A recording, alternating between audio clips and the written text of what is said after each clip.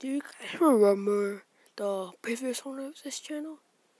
Well, now I'm kind of the new owner of this channel.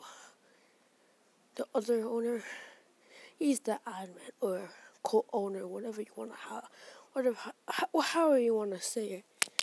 April Fools!